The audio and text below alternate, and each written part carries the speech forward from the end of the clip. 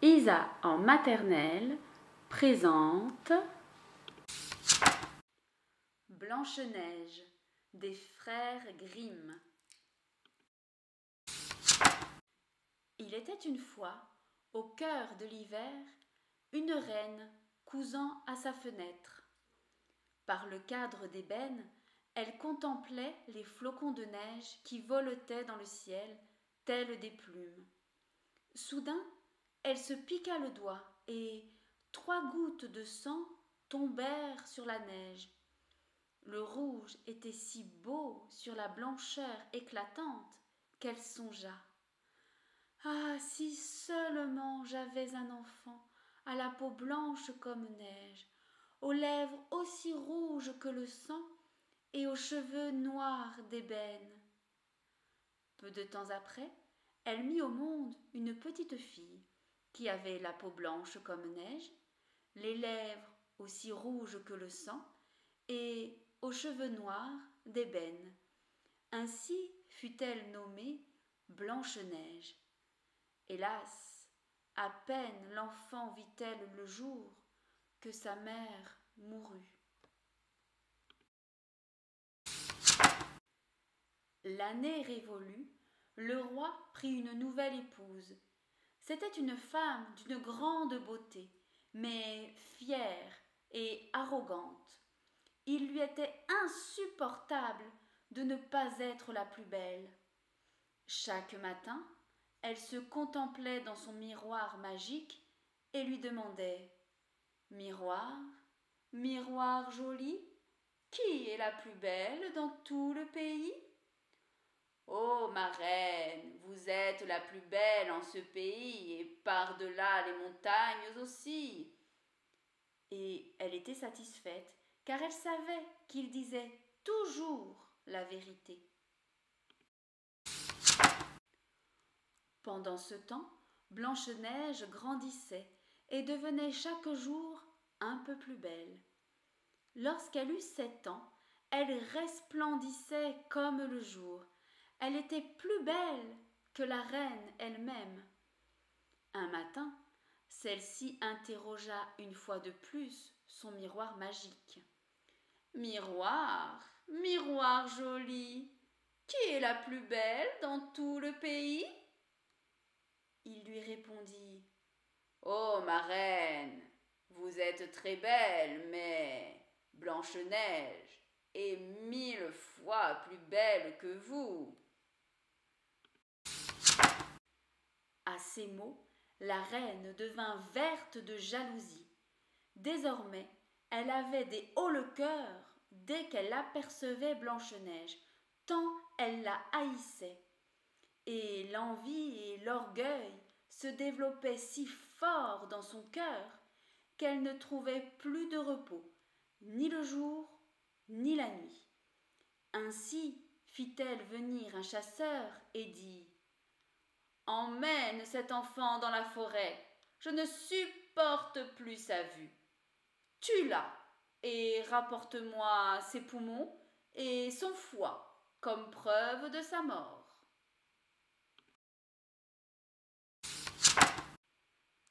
Le chasseur obéit et entraîna la malheureuse dans la forêt. Mais quand il brandit son couteau de chasse pour transpercer le cœur innocent de Blanche-Neige, la fillette se mit à pleurer. Chasseur, je t'en supplie, laisse-moi la vie. Je te promets de m'enfuir dans la forêt sauvage et de ne plus jamais revenir chez moi. Elle était si belle que le chasseur fut saisi de pitié. Cours donc, ma pauvre enfant, s'écria-t-il. En son fort intérieur, il ne put s'empêcher de songer les animaux féroces ne tarderont pas à te dévorer. Pourtant, il se sentait soulagé d'un poids immense. Il n'avait plus à la tuer. Aussi, lorsqu'un jeune marcassin bondit vers lui, il le poignarda, lui prit poumons et foie et les apporta à la reine. Le cuisinier dut les faire cuire dans du sel et la terrible femme s'en reput. pensant manger les entrailles de Blanche-Neige. La fillette errait comme une âme en peine dans l'immense forêt. Le moindre bruissement de feuilles attisait sa peur. Alors elle se jeta dans une course éperdue à travers les ronces et les pierres pointues qui blessaient ses pieds. Les animaux sauvages croisaient sa route sans lui faire aucun mal. Elle courut ainsi aussi longtemps que ses jambes purent la porter. Soudain, Blanche-Neige aperçut une maisonnette et entra pour s'y reposer. Tout y était petit, mais si délicat et si propre qu'il n'y avait rien à redire. La table était mise avec sept petites assiettes, chacune avec ses petits couverts et son petit gobelet. Sept petits lits étaient alignés le long du mur, recouverts de petits draps blancs comme neige. La fillette avait si faim et si soif qu'elle prit dans chacune des petites assiettes une bouchée de légumes avec un petit morceau de pain et but dans chaque gobelet une goutte de vin. Elle ne voulait pas tout prendre à un seul. Puis, harassée de fatigue, elle essaya les petits lits, mais aucun ne convenait. L'un était trop long, l'autre trop court. Le septième, enfin, fut à sa taille. Elle s'y endormit profondément. À la nuit tombée, les maîtres du lieu rentrèrent. C'étaient les sept nains.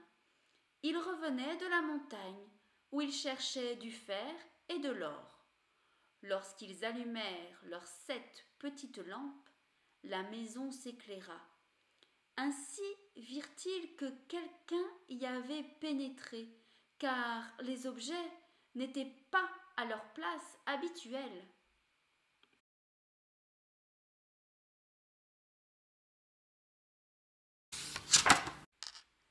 Qui s'est assis sur ma chaise? dit le premier. Qui a mangé dans mon assiette? fit le deuxième. Qui a pris un morceau de mon pain? s'exclama le troisième. Qui a goûté à mes légumes? demanda le quatrième. Qui a utilisé ma fourchette? gronda le cinquième. Qui a coupé avec mon couteau? s'étonna le sixième. Qui a bu dans mon gobelet? S'offusqua le septième. C'est alors que le premier nain se retourna et aperçut un petit creux sur son lit. Qui s'est posé dans mon lit? s'écria-t-il. Les autres accoururent et renchérirent. Dans mon lit aussi, quelqu'un s'est couché. C'est le septième nain qui découvrit la fillette endormie. Il appela les autres, qui se pressèrent autour du lit en poussant des cris de surprise. Ils coururent chercher leurs sept petites lampes et éclairèrent Blanche-Neige. Mon Dieu. Que cet enfant est belle. s'exclamèrent-ils. Leur ravissement fut tel qu'ils ne la réveillèrent point. Quant au septième nain, il dormit avec ses compagnons, une heure dans chaque lit, et déjà la nuit était passée. En se réveillant au petit matin, Blanche-Neige s'effaroucha à la vue des nains. Qui es-tu? lui demandèrent-ils gentiment pour la rassurer. Et D'où viens-tu? Elle leur raconta alors qui elle était et comment sa marâtre avait voulu la faire assassiner. Elle leur parla du chasseur qui lui avait laissé la vie sauve, puis de sa longue course jusqu'à leur maisonnette. En entendant son récit, les nains furent tout émus. Si tu veux tenir notre ménage, proposèrent-ils, faire la cuisine et les lits, laver, coudre et tricoter, veiller à l'ordre et à la propreté, tu peux rester chez nous et tu ne manqueras de rien. J'accepte de tout cœur, répondit Blanche-Neige. Ainsi, elle resta chez eux, veillant à ce que tout fût toujours en ordre. Le matin, les nains partaient dans la montagne pour extraire du fer et de l'or. Lorsqu'ils revenaient, le soir, le repas était prêt. Comme la fillette passait ses journées seule, les bons nains la mirent en garde. Méfie-toi de ta belle-mère. Elle va bientôt savoir que tu es chez nous et ne manquera pas de se venger. Surtout, ne laisse entrer personne. Dans son palais, la reine pensait être redevenue la plus belle de tout le royaume. Longtemps elle vécut le cœur léger, jusqu'au jour où elle interrogea de nouveau le miroir. Miroir, miroir joli, qui est la plus belle dans tout le pays? Et le miroir répondit Oh ma reine, vous êtes la plus belle en ce pays, mais là-bas, au-delà des sept montagnes, chez les sept nains, Blanche-Neige est mille fois plus belle que vous. La reine s'affola, car elle savait que le miroir disait toujours la vérité. Elle comprit que le chasseur l'avait trompée et que Blanche-Neige était en vie. Elle réfléchit encore et encore pour trouver un moyen de la faire disparaître. Il fallait qu'elle fût la plus belle dans tout le pays, où la jalousie ne lui laisserait nul repos. Enfin, elle sut ce qu'elle devait faire.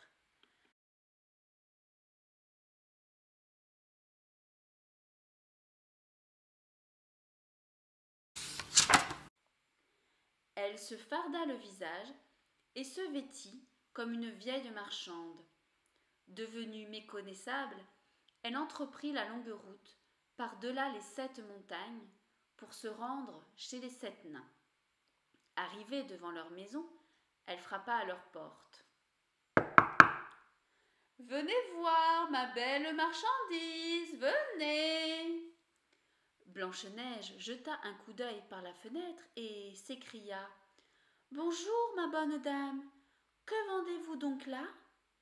Des lacets de toutes les couleurs, répondit la vieille en sortant de son sac un lacet tressé de soie multicolore. Je peux bien laisser entrer cette brave femme, pensa Blanche-Neige, rassurée, et elle finit par déverrouiller la porte pour acheter le si joli lacet. Mon enfant, dit la vieille marchande en examinant sa tenue, de quoi as-tu l'air?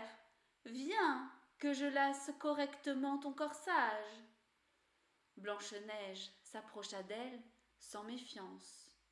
La vieille la lassa si vite et si fort que la jeune fille en eut le souffle coupé et tomba sans vie. Maintenant, c'est bien moi la plus belle, ricana la vieille femme en se hâtant de quitter la maisonnette. À la tombée du jour, les nains rentrèrent chez eux. Quelle ne fut leur frayeur lorsqu'ils aperçurent leur chère Blanche-Neige étendue comme morte sur le sol. En la soulevant, ils constatèrent que son corsage était trop serré. Dès qu'ils eurent coupé le lacet, elle se remit à respirer et retrouva ses couleurs. Quand les nains surent ce qui s'était passé, ils s'exclamèrent.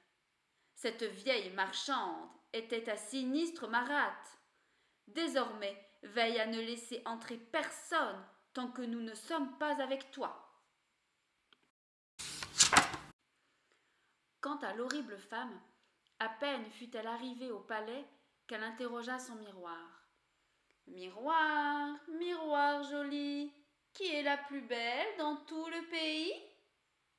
Comme précédemment, celui-ci répondit. Oh ma reine, vous êtes la plus belle en ce pays, mais là-bas, au-delà des sept montagnes, chez les sept nains, Blanche-Neige est mille fois plus belle que vous. En entendant ces mots, La reine fut tellement bouleversée que le sang se figea dans son cœur. Comment la fillette pouvait être encore en vie? Cette fois-ci, ma magie la détruira, siffla-t-elle. Comme elle était sorcière, elle fabriqua avec grand soin un peigne empoisonné. Puis, sous l'apparence d'une autre vieille femme, elle reprit la longue route pour se rendre au-delà des sept montagnes, chez les sept nains. En frappant à leur porte, elle cria Venez voir ma belle marchandise. Venez donc. Blanche-Neige jeta un coup d'œil par la fenêtre. Passez votre chemin. Je ne dois laisser entrer personne. Tu as toutefois le droit de regarder, dit la vieille en lui montrant le peigne empoisonné. Le peigne plut tellement à Blanche-Neige qu'elle se laissa charmer. Elle ouvrit la porte. La vente conclue, la vieille proposa. Maintenant, je vais te coiffer correctement. La pauvre Blanche-Neige ne se méfia pas et se laissa faire. Mais dès que la vieille eut piqué le peigne dans les cheveux de la fillette, le poison se mit à agir. Blanche-Neige s'écroula, sans connaissance. Eh bien, prodige de beauté, siffla la cruelle marâtre, c'en est fait de toi. Heureusement, la nuit tombait. Déjà, les nains rentraient chez eux. À la vue de Blanche-Neige gisant comme morte sur le sol, ils soupçonnèrent immédiatement la reine. Ils examinèrent donc la jeune fille et découvrirent le peigne empoisonné. À peine l'eurent-ils retiré que Blanche-Neige retrouva ses esprits. Ayant écouté son récit, les nains la mirent une nouvelle fois en garde, lui recommandant d'être plus prudente et de n'ouvrir sous aucun prétexte.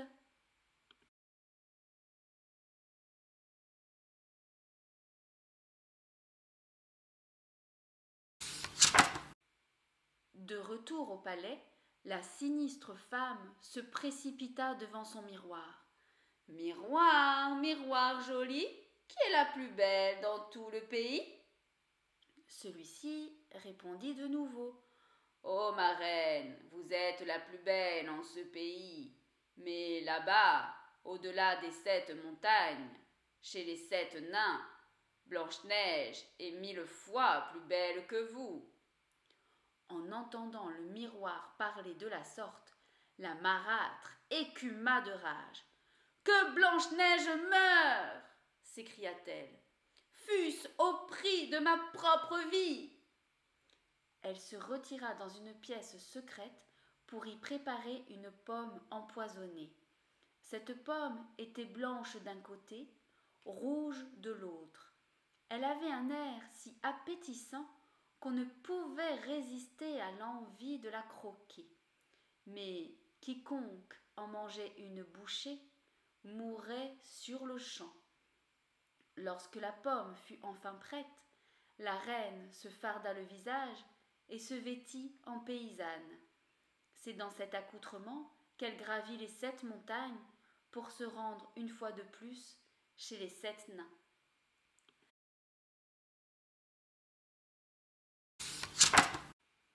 Lorsque la paysanne frappa à leur porte, Blanche-Neige passa la tête par la fenêtre. Je ne peux laisser entrer personne. Les sept nains me l'ont interdit. Comme tu voudras, rétorqua la vieille.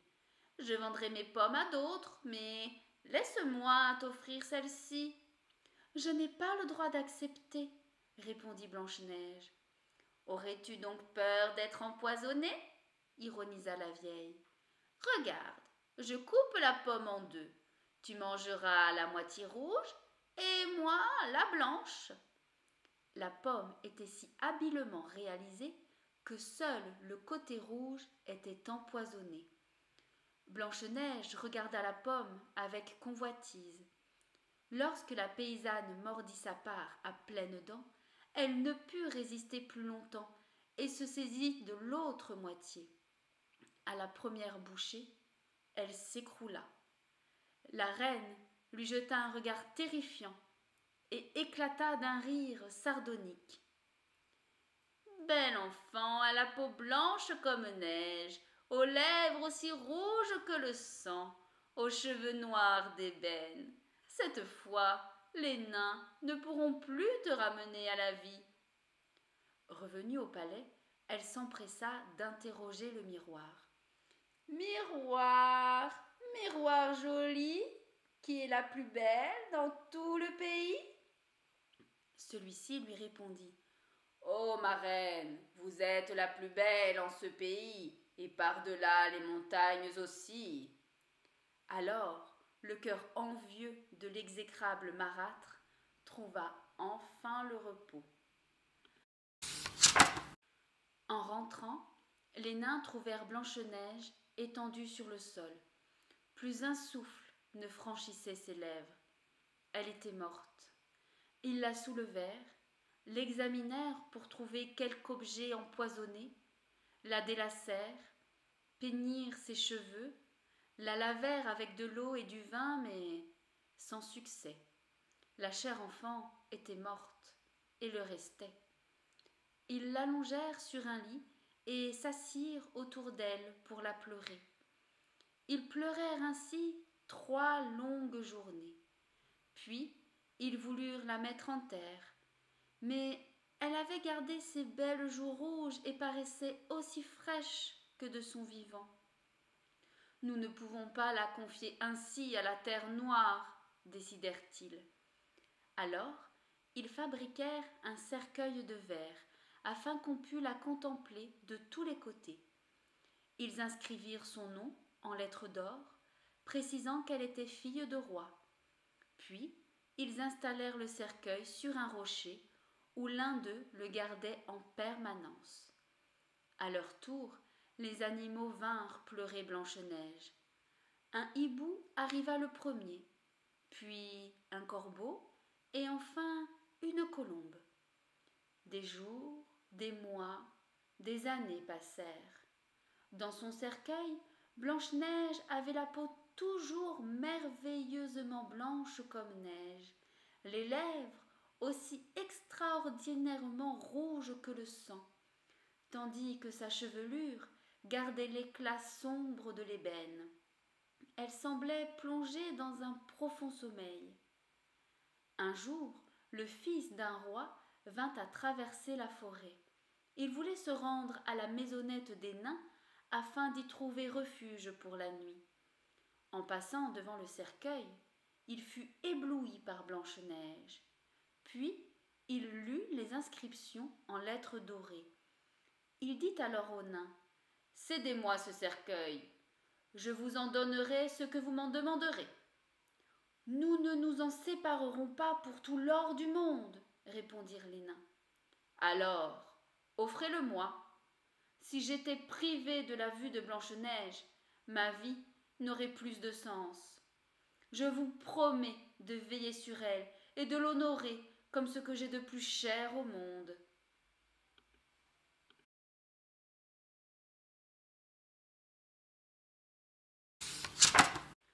En l'entendant parler ainsi, les nains se laissèrent émouvoir et lui donnèrent le cercueil. Le prince le fit transporter sur les épaules de ses serviteurs. Mais ceux-ci trébuchèrent lourdement sur les racines d'un arbre. La secousse fut si violente que le morceau de pomme empoisonnée jaillit du gosier de Blanche-Neige. La jeune fille ouvrit alors les yeux. Mon Dieu, où suis-je? s'exclama-t-elle en repoussant le couvercle de verre. Tu es avec moi, répondit le prince, fou de joie. Il lui raconta ce qui s'était passé et murmura. Je t'aime plus que tout au monde. Viens avec moi dans le château de mon père. Je veux te prendre pour épouse. Blanche-Neige s'éprit éperdument du jeune prince et le suivit avec bonheur. Pour célébrer le mariage, on organisa une fête somptueuse, à laquelle l'odieuse reine fut également invitée. Elle revêtit ses plus beaux atours, avant de s'adresser à son miroir magique. Miroir, miroir joli, qui est la plus belle dans tout le pays? Oh, ma reine, en ce pays vous êtes la plus belle, mais par-delà les montagnes, la jeune promise est mille fois plus belle que vous. En entendant cette réponse, l'affreuse femme se mit à hurler de rage et de peur. Elle refusa tout d'abord de se rendre à la noce, mais sa jalousie fut la plus forte. Il fallait qu'elle en eût le cœur net, il fallait qu'elle vît la jeune mariée. Lorsqu'elle pénétra dans la salle de bal, la reine reconnut immédiatement Blanche-Neige. Elle fut pétrifiée de terreur. Mais déjà on avait fait chauffer sur des charbons ardents les pantoufles de fer réservées aux sorcières. On les déposa devant elle avec des pinces. La terrible marâtre dut chausser les souliers rougeoyants et danser, virer, tourner, tourbillonner au milieu des convives, jusqu'à s'écrouler, morte.